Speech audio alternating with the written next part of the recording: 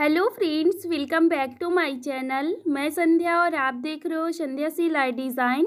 Friends, आज की इस वीडियो में हम लोग आस्तीन की डिज़ाइन बनाने वाले हैं। जैसे कि हम लोगों ने अभी थंबनेल में देखा, सेम वही पैटर्न हम लोग सीखने वाले हैं।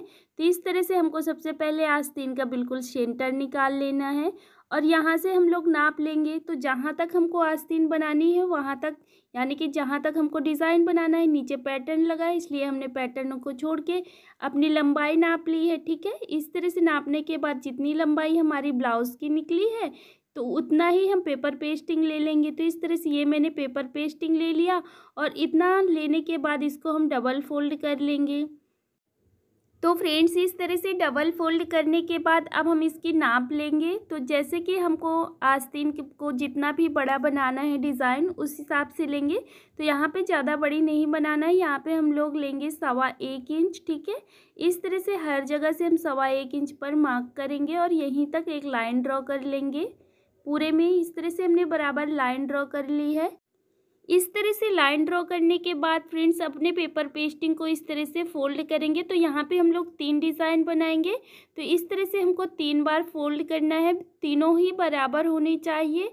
इस तरह से फोल्ड करने के बाद अब हम इसकी नाप ले लेंगे। तो कितनी लंबाई में है? तो ये हमारा तीन इंच आया।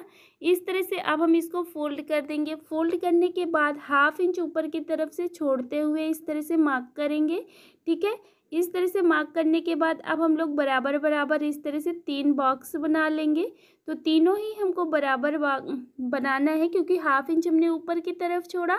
हाफ़ इंच ही हमको नीचे की साइड भी छोड़ना है। उतना छोड़ने के बाद अब हम तीनों ही बॉक्स बिल्कुल बराबर से मिला के लगाएँगे, इस तरह से मार्क करेंगे।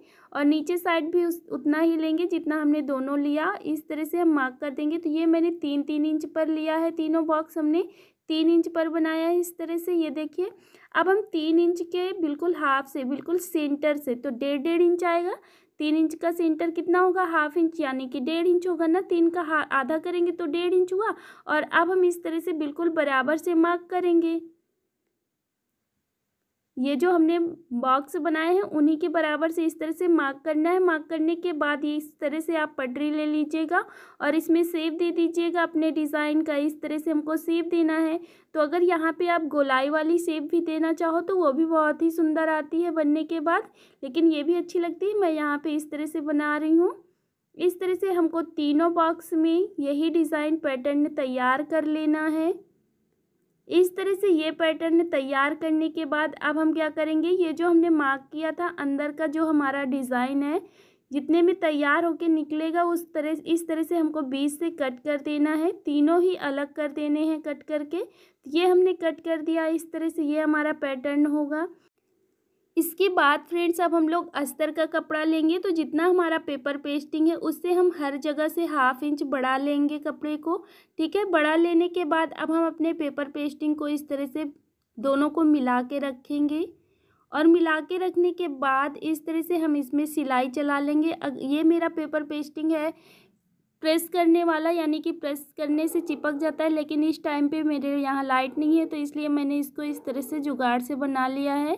अब हम इसको साइड साइड से इस तरह से सिलाई चला देंगे, जिससे कि हमारा पेपर पेस्टिंग इधर उधर भगे नहीं। इस तरह से ये हमने सिलाई चला ली, ठीक है? अब ये सिलाई चलाने के बाद क्या करेंगे? ये जो हमारा कपड़ा है ना, इसको इस तरह से फोल्ड कर देंगे। और फोल्ड करने के बाद इस तरह से चारों तरफ़ से फोल्ड करके सिलाई चला लेंगे।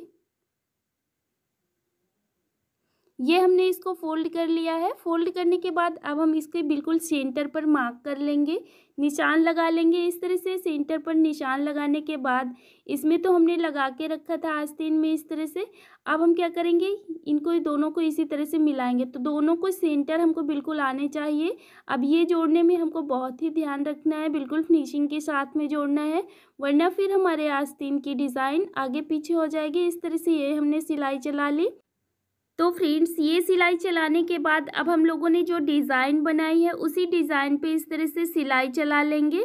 तो हमको बिल्कुल बकरम जो हमारा लगा हुआ है, बकरम पे नहीं चलना चाहिए। बिल्कुल बकरम के साइड से सिलाई चलनी चाहिए। इस तरह से ये मैंने सिलाई कंप्लीट कर ली है।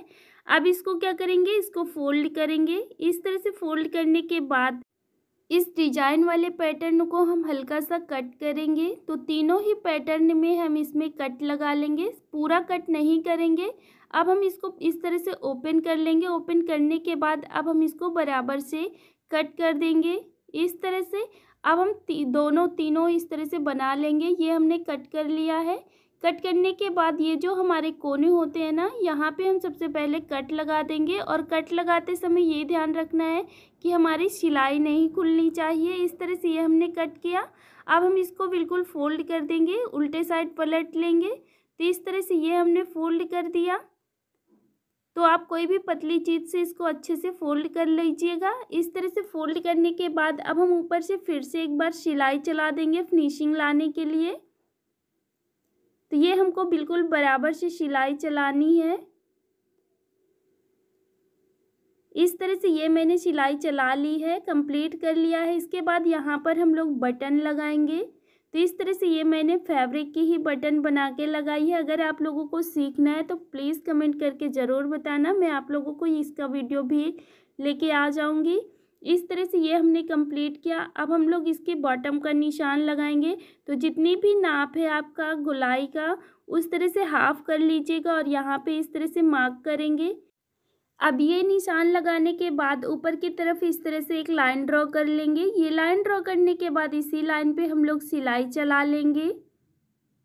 इस तरह से हम यहाँ पे दो सिलाई चला देंगे, ठीक है? ये हमने सिलाई चला दी है तो इसी तरह से दोनों आस्तीन हमें कंप्लीट कर लेना है।